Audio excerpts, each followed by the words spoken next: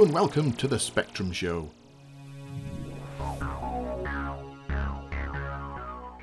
Welcome to episode 80, the end of series special. I'm taking a short break before the next series, but let's get straight into this one. To be honest, I had no idea what I would do for this episode. I spent ages flicking through magazines, hoping to get some inspiration, and suddenly I saw this advert.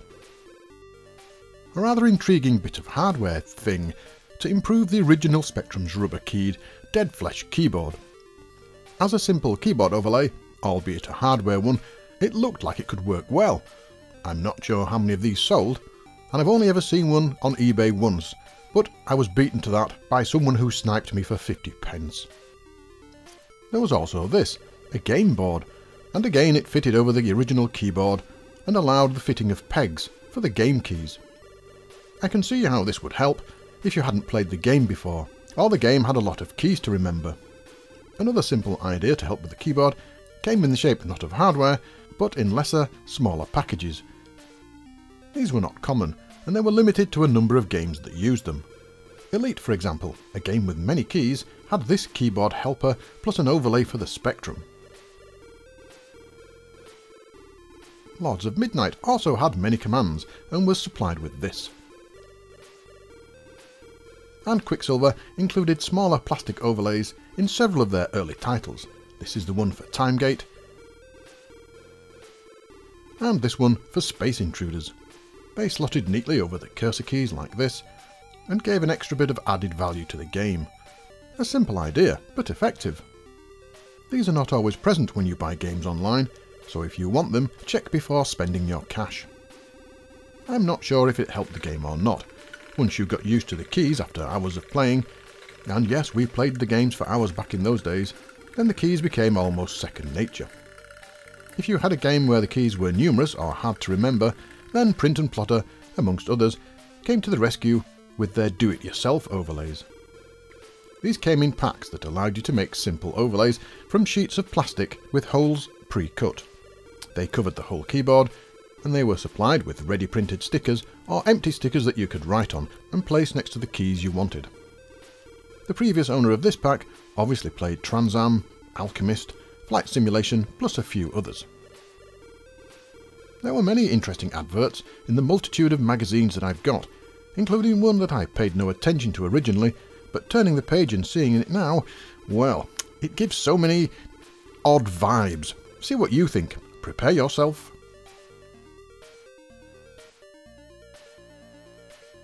See what I mean? Yeah, let's quickly move on, shall we? There are a lot of other odd adverts that I found too. Take this. Now I'm not sure about a lot of content in this image. Is this bloke looking at this naked creature in an odd way? And with the technology to build clubs and shields, you'd have thought clothes were the next thing. Now this one, mm, yeah, if it was a more modern image you could claim bad photoshopping. I'm not sure what this is trying to convey, either a giant tiger eating a man, or a tiny man living in a tiger's mouth. Either way, very odd. Right, um, well this just looks weird. Three blokes with disproportionate heads, and a cat that doesn't like what it's seen up that bloke's loincloth. Axe held the wrong way, and is this Apollo Creed from the Rocky films? And what's that under his cape? Moving on. And yeah, if that woman is being squeezed as hard as the image implies, she'd be dead. Her head would have exploded off her shoulders like a bullet. And that bloke, expecting to help matters and running to rescue with a hammer? Hmm. Keeping with the Kong theme, and yes, well, this is just bad. The face, the man with the hammer again, the girl that looks bored with the whole situation, and bits of, what is that, banana or barrel covering the beast's nipples? Talking of nipples, we all remember this game, right? This is the first advert, and it's a brilliant piece of art. But it upset many people because it depicted a woman's nipples. Oh my, the horror. So the following month they fixed it by pasting the company name over the offending bits of anatomy. And then the following month they put this out. Yeah, not at all bodged over the top, is it? Hmm. On to the next one, and this dragon. Where do you start? Head's way too big, wings way too small. I mean, it wouldn't even get off the ground. The man with something. Yeah, it's pretty bad, isn't it? Now, um, man with hat. With horn. One horn has morphed into a giant snake thing, and there's a tiny woman badly merged onto the top. Okay, not as bad as the others, I suppose, but what does it all mean? A magic hat, a tiny woman, or is it yin and yang? Who knows? How about this one then? Yeah. Is that pain or some other emotion he's feeling? And where's his other hand? Where do the giant's hands fit into things as well?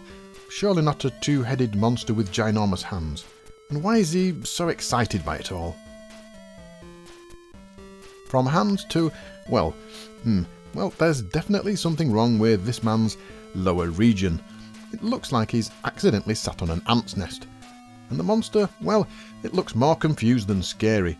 Maybe it's seen his arse. And this one, do I have to say anything here? Best keep quiet really and move on after you've had enough time to take it all in.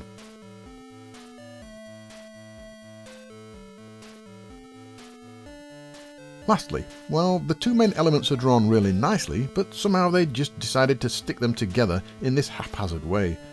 Why does the top half have no armour? Surely that's a weak spot right there. Oh, I've just found this. Isn't that Thanos from Guardians of the Galaxy? I'm sure there are more that I've missed, but the days of amateur artwork have long since, and sadly gone.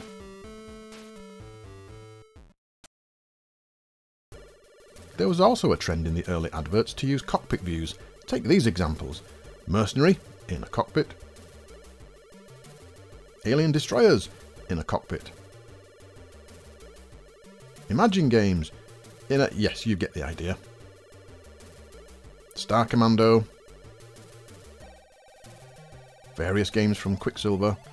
And this is interesting because it's advertising two games, both arcade clones, Meteor Storm, obviously an Asteroids clone, in the middle window, and Space Intruders, a Space Invaders clone, in the right-hand window.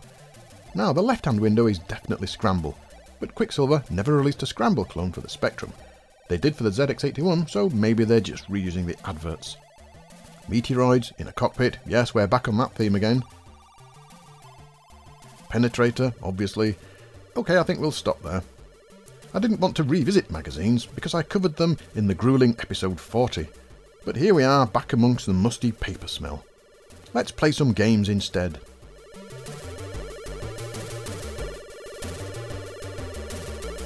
When the Plus 2 was released in 1986, it had a set of software bundled with it. These titles are probably easily recognised by anyone around at that time because of the inlay design. They came in this rather nice box, inside which are six games, that formed the Soft 888 pack. There are two main reasons for bundling games with computers.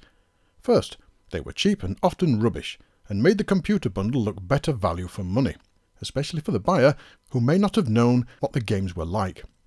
Or they were stellar titles designed to show off the system. What will these be then? Let's take a look. Here they are.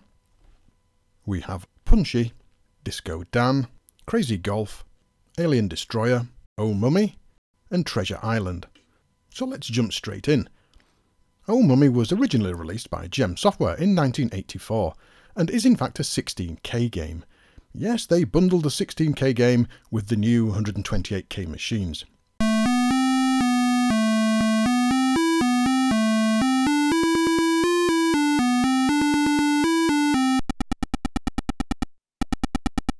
And yes, it's a very simple Amidar clone. The graphics are 8-pixel character squares, the sound is just simple beeps, and well, I suppose it plays okay if you like typing games. This does not show off the 128 machine at all. In fact, it doesn't even show off the 16K machine either. If you don't know Amidar, you simply paint all the pathways gaining points. However, this game has an Egyptian theme to it, and some of the squares have items that gain you extra points, like scrolls or keys. And the keys are important. You need to be able to find that to get to the exit to the next level. And the exit is that green cross bottom right. There are a number of chasing enemies depending on the level you're on, and the intelligence seems rather dull, but it is a 16k game after all.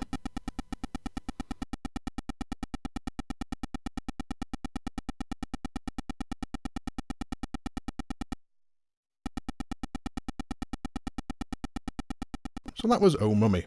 The next one we have is Disco Dan, again by Gem Software and originally released in 1984.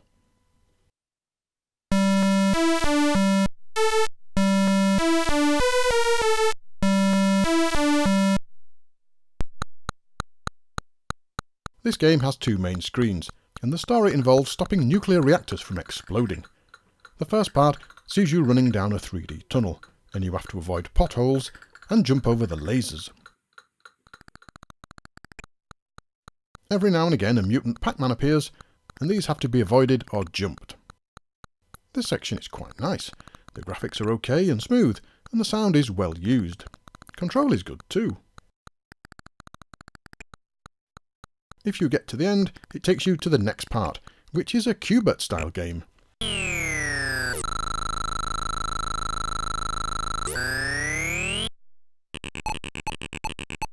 You have to change the colours and numbers on the discs by jumping on them. Each time you jump on a disc, the number will reduce, eventually reaching zero, and that is your goal. However, they are randomly increased by a spinning nasty thing that moves about, changing the discs back, Eventually, if you don't reduce them, they will change to red, and red discs can't be jumped on or you'll die.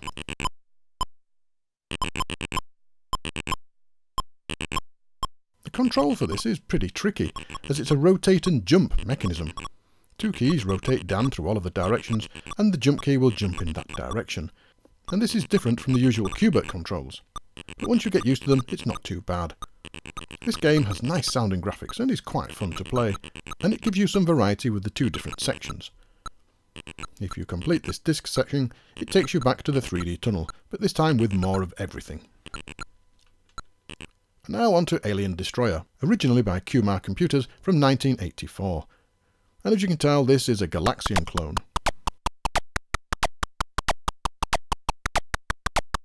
The graphics are large, but a bit jerky, and the control is sometimes unresponsive, especially when there's a lot on screen. Things speed up as you make your way through the wave, and on the second level they start to swoop down, which really does slow the gameplay down a bit. The background stars seem to draw on one at a time, and then all of a sudden appear at once, which is a bit strange. Sound is well used though, and the gameplay is, well, like a slow, less responsive version of the arcade game. And that just about sums it up really. But it is fun to play for a while, Next we have Punchy from Mr. Micro, originally released in 1983. Now this game was originally called Hunchy, obviously based on the arcade game Hunchback. After some legal wranglings, the names was changed to Punchy and the game slightly altered in levels and speech. The original had speech saying Esmeralda, but Punchy obviously doesn't.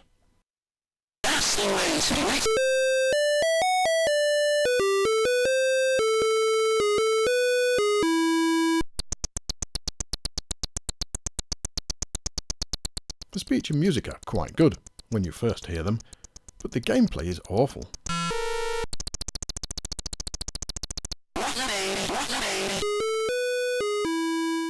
The jumps are not high enough, and so it takes a long time to get used to the timings.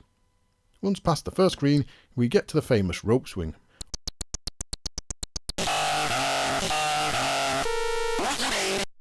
Or you would if it was the arcade, but this has been replaced in this game by, I think, a magic carpet? Whatever it is, it's almost impossible to land on because of the jumping mechanism mentioned before. Eventually though, I made it.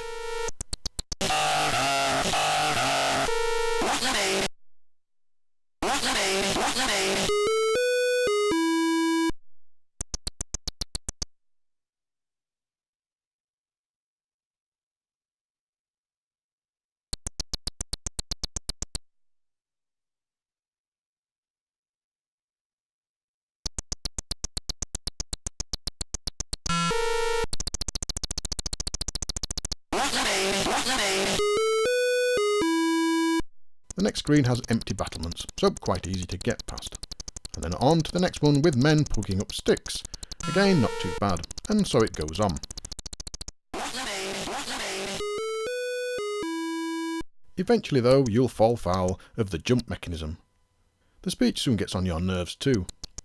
A game to experience I suppose, and then move on quickly.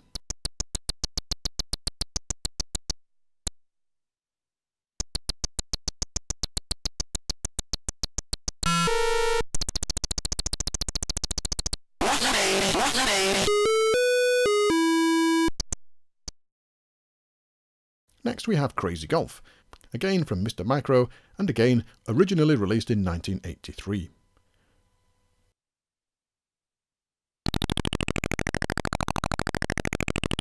This looks like it's written in BASIC.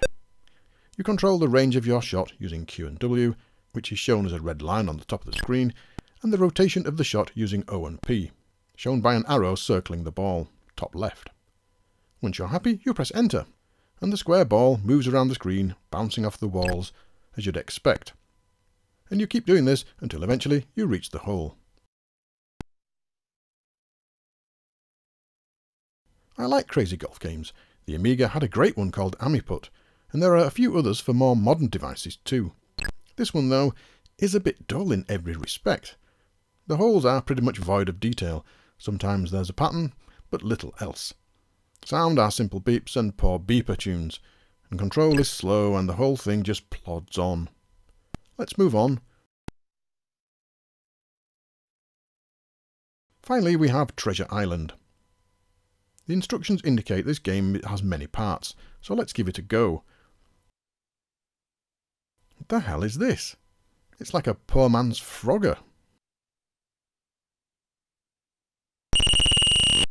And it's impossible. Dead again. Is this really the first part? Oh, God.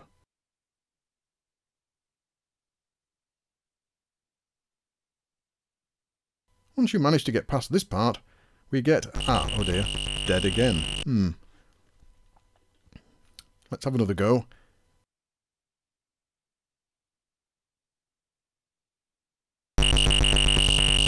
Nope. You have to time your jumps to avoid those arms to get to the last part, and this is so frustrating. So, so far we've had a Frogger clone and a sort of hunchback thing. I could never get to the third part though, so I had to use the RZX playback and this is where the majority of the game is. And this is a bit like Sabrewulf, really.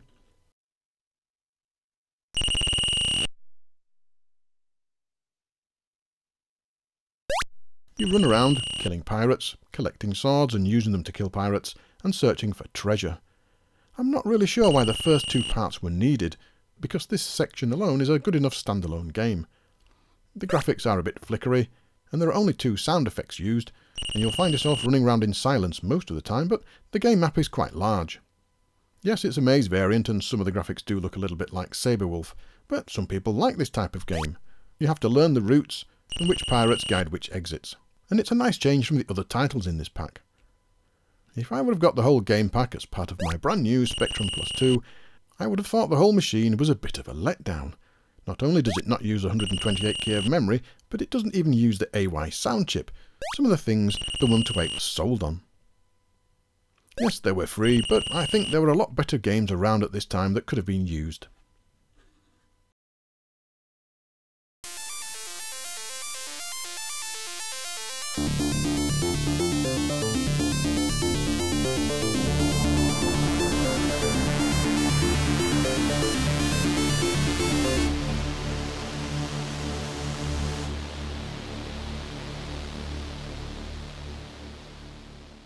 As many of you know, I love typing games. I like to see how they work and what other people were doing at the same time I was getting into programming. Magazines were littered with many different offerings from poor arcade clones to original games created with a few dozen lines of code. Some magazines even produced machine code listings for the patient typers. These games were free, only costing the price for the magazine, and a little time to sit there typing them all out. For those not wanting to do this, there were several options. Your Computer magazine offered Telsoft, a program that let you download their listings over the phone line. And then there was Prestel and Micronet 800, providing some games to download, and also local bulletin boards would offer a few titles as well. However, one magazine went a bit further and made some of their games available to buy. Personal Computer World published this collection of games. There are 26 titles here, all for just $5.95. I'm not going through every single one of them here, but for those interested I will play them all on a Patreon video coming shortly. So let's dive in then. The case is nice and much bigger than I expected, and it comes with a booklet, or more accurately, a book. Inside you will find all of the games on the tape, in listing format, accompanied by descriptions of what the code does. This was meant to help any coders understand the games and how they worked, which was a nice touch. Let's try a few games then.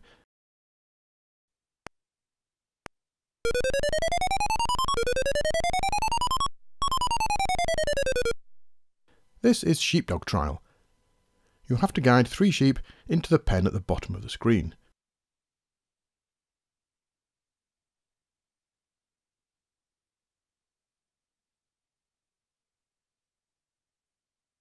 You move your sheepdog around, which in turn forces the sheep to move. Eventually, you'll get them all in.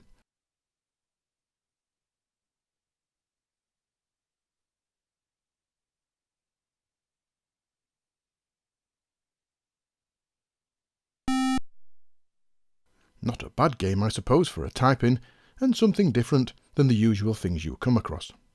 As you would expect, it's a basic game, so the graphics are character-based and sound is limited, and the control is often unresponsive. Let's try another one. This is Virus. Yes, it's a standard Light Cycles game. You control the white bits and have to block in the yellow virus. Again, it's a very basic game in every sense of the word, and nothing really new.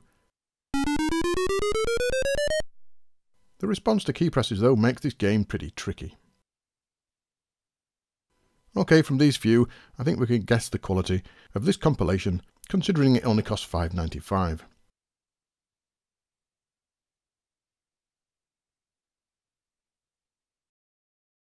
Next then is Planets.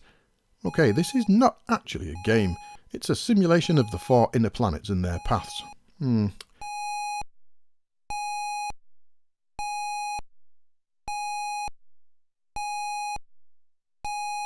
Okay, let's move on. This is cheese.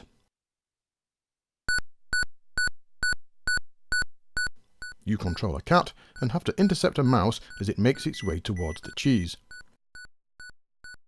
The control is terrible, and it's sometimes tricky to get the position right as the mouse moves diagonally.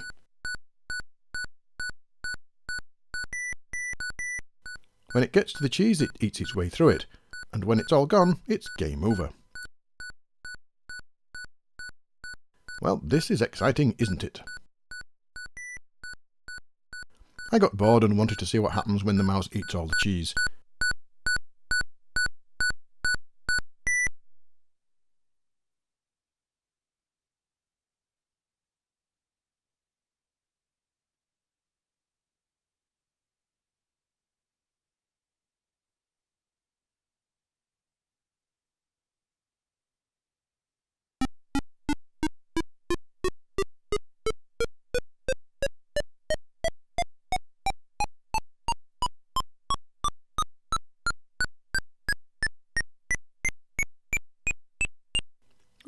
Nice effect when you die. And a high score. Okay, I think that's enough of that then. Because this compilation was released in 1983, the games are typical of what you'd find in magazines, so to save you typing them in, and probably making mistakes, I suppose $5.95 isn't a bad price. The book is good quality too, but the games are, well, you saw them for yourself. Well, we're coming up to the end of the episode, so let's have some fun.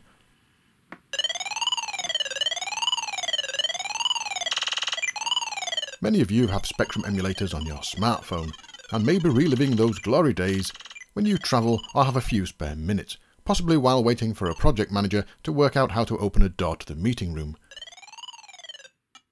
There are a few emulators to choose from, but I'm not going to go into them here. Instead, I'm going to take a look at other things you can do on your smartphone linked to the Spectrum. First we have this, PlayZX, a tool to locate and play back TAP and TZX files on your phone so you can load them into your Spectrum in real time. The A to Z list makes finding a game easy, and there's also a search option. Once selected, you may get a few different versions displayed. Pick the one you want, connect your phone as you would a normal cassette player, and load a game as you would normally. And there you go. A game direct from the internet, played on your phone, and loaded straight into your Spectrum. A great little app if you want to load games the way they used to be loaded. Next we have Spectrum Eyes. This app lets you use your camera or take a picture from your gallery and convert it into all the glorious Spectrum screeny goodness. And when you're ready, you can save it as a PNG file and even export it into a real Spectrum TAP file to load into a real machine. The quality of the final image really depends on the subject and lighting. Sometimes it works really well, others not so good. I like this app. It's great fun to mess about with, and I spent a lot of time taking pictures just to see how they would look on a specky. And lastly, we have something to really annoy your friends with.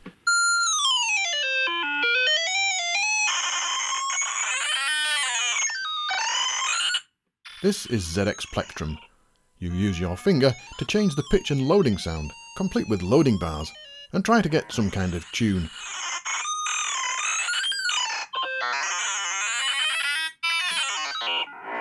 Although obviously it's just there to make a hell of a racket and annoy people in the vicinity. But it's some fun nonetheless. So there you have it, three Spectrum related apps that are not emulators. If you've got a phone, go away and give them a try. And if you know of any others I've not covered, let me know in the comments, and I'll take a look at them possibly in a later episode.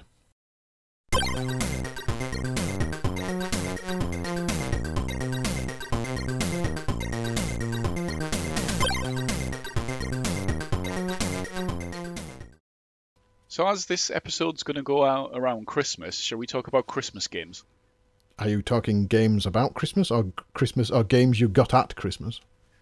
Uh, maybe it should be games you got at Christmas because weren't Christmas games notoriously rubbish? They were really bad, and I covered them in a previous Christmas special. So, so th- this is now about games you got at Christmas. Yeah. Okay.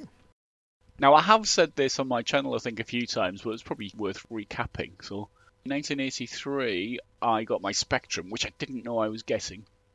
Spectral Panic and Atic Atac. I think that was the best Christmas I've ever had. so when was your first Spectrum Christmas? I want to say 82, but I, I, I think I, I, so I think it was very early 83 I got it. I'm, I do not know. The, the earliest photographs I've got are of some games wrapped in tinsel, which hmm. I got for that Christmas. And some of them date to 1982 and some are 83, but I think it's 83, the Christmas of 83. Yeah, the biggest one is The Hobbit. That's probably the most well-known game. I, uh, very good game. Very good game, yeah, and and the updated version as well, where people have changed, updated all the graphics, kept all the gameplay exactly the same, but updated the graphics, and added added graphic locations for locations that didn't have graphics from things like the IBM version and the Commodore version. That's a really good, yeah. really good update. Uh, another adventure. I seem to have a lot of adventure games here. The next one is Magic Mountain by Phipps Associates. That's another adventure game. Adventure One by Abersoft, which is Colossal Cave, basically. Yeah. Uh, we've got Planet of Death by Artic, another text game. We've got the yeah. we've got the Oracle's Cave, a sort of text graphic game. That was a great game. I love the Oracle's Cave. Yeah, I might uh, take that out and play it again. Transylvanian Tower, which was terrible, and the one I quite liked it. It's, oh, it's in basic. It's an awful game. Didn't you have to shoot bats? You did in, in, the second level. You got bats, and you also had footprints, yeah. uh, so you knew where you'd been. Yeah. And then the the other one, the other most well known one, which I couldn't play for the life in me, but I and I have had requests to review it, which is Halls of the Things. Yeah, I've not played that. Never, ever, ever played it. A lot of people say it's a really good game because of the freedom that you've got, but I just found it really difficult maybe one day I'll, I'll pick it out in, in um, a segment called Games That I Can't Play, which I've, I've did, did once for a previous one, but I can dig it out again because that's certainly one of the games I can't play at all. We could, maybe we should do a let's talk about about that because there's a few games that I, I can't yeah, play. That's, that's, well. yeah. okay, on, your Christmas games that you've got? That was 83, and... and then 84, I got a RAM Turbo interface. Yep. I got Daley Thompson's Decathlon and the Lords of Midnight and the Lords of Midnight was quite an old game, but I'd been saying to my parents for ages and ages and ages I wanted it for Christmas. Right. Okay. I actually I'd been asking for it for so long I'd forgotten I was asking for it. On Christmas Day, Daley Thompson's Decathlon with my new joystick and interface got a load of uh, play. How long did the joystick last? Uh, a few months. It, it, it, I didn't I didn't whack it too hard.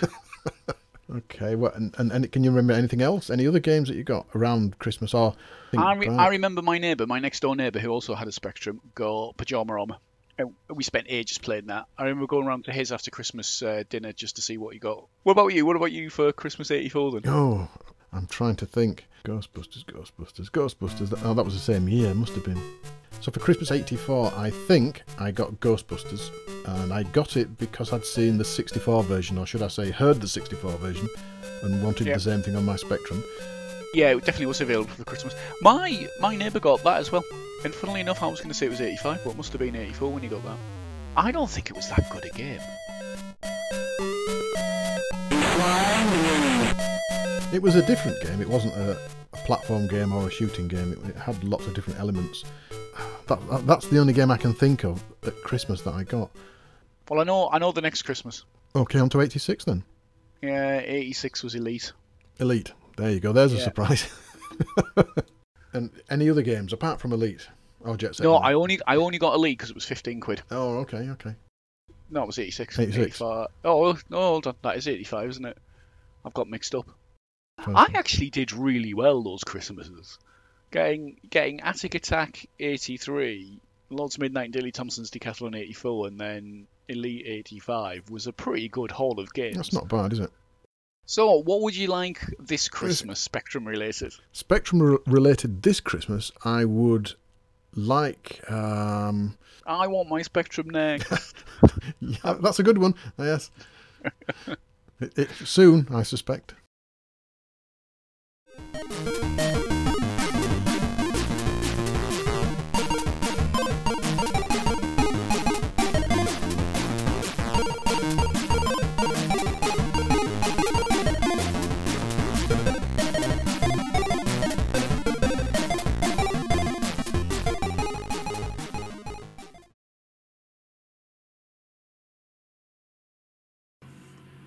The slightly dubious and possibly racist Afro kit.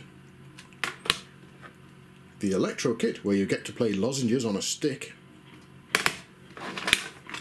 And the Latin kit, where you can shake your maracas. Best not really put that in, I don't know. It's blasting all the way, and your ship seems.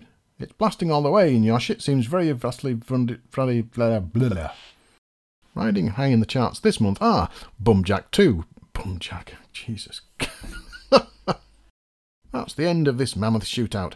And if I have to play another centipede game, I'm going to explode. If you haven't guessed by the title, this is a version of the classic arcade Cough Along with Paul. this is Deep Core Raider. No, it's not a dirty sex film. I can't pull mine. As you shoot fleets of aliens, they drop Somebody's got a power saw going. Oh, stop drilling. The game starts, but it doesn't tell you it started. It just starts, start, oh, start, start, start, start. I shall have to rewrite that. I wanted to enjoy this game. I like Jesus. Jesus. Coming up, we get the top selling news. No, we don't. I don't know where they got the image from, but it's. But it's certainly a bit. Crap, crap, crap, crap, crap. It looks like a six year old's drawn it. But it's certainly a bit, shall we say, odd. This is a hefty book that is nearly an inch thick and has a wide variety of contributors, including some well known names like Fill in later. Ah, my script actually says fill in later. Ugh, need to check forcing a platform game into the film story. However, the excellent Lucas Arts, Adven- no, uh, Lucas Arts Adventures. On the right, there are various selections to select. Of course, you'd select a selection. What else would you select? The new machine is based on the previous Plus 2 model and will be replaced by a tape deck. What? Try again. As you shoot fleets of aliens, they drop power ups and. Oh, God.